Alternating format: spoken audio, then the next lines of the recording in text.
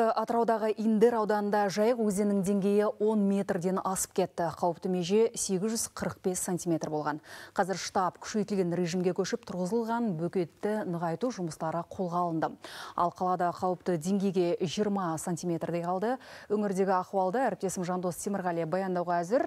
Жандос, қайырлы кеш, сөз өзіңізде.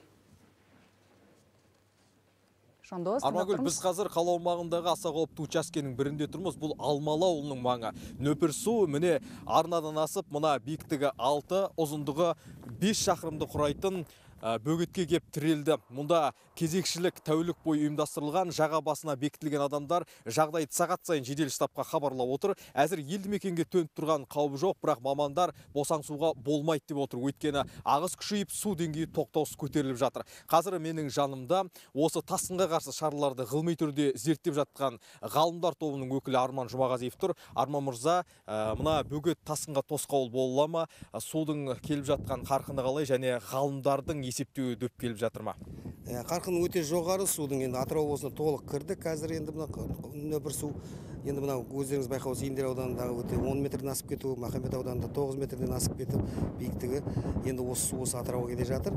Енді жаңағы жалпы мына қорғандар бізге қазіргі таңда өте қауіп тудырмайды бірақ сақтық шараларын біз әлі жалғастыра беруіміз керек. Екінші мәселе енді ғалымдардың алдындағы басқа су мамандарының болжамдары. Қазіргі таңда осы сол неге жақын болып тұр. Айтқан болжамдары қазіргі келген судың жақын болып тұр. Әлі де судың көктем мысалы қарай тағы да көп су келу керек деп есептеп отырмыз. Енді 12 екінші майларда атыраудың өзі 500 елу метрге жету керек. Рахмет арман мырза. Армангүл жалпы қала бөлігіндегі гидробекетте жайық деңгейі 5 метрден асты. Қазір кейбір учаскелердегі бөгеттің осал тұсы қайта нығайтылып жатыр. Жалпы өңірде 522 шақырым жаға бекітілді. Оған 5 миллионнан астам қапшық жұмсалды. Егер бөгет бұзыла қалған жағдайда хабарласу үшін 112 және 109 нөмір арқылы жедел желі іске қосылды. Қаланың өзінде 10 мыңнан астам эвакуациялық орын әзір тұр. Армангүл. Ақпаратыңа рахмет жандос.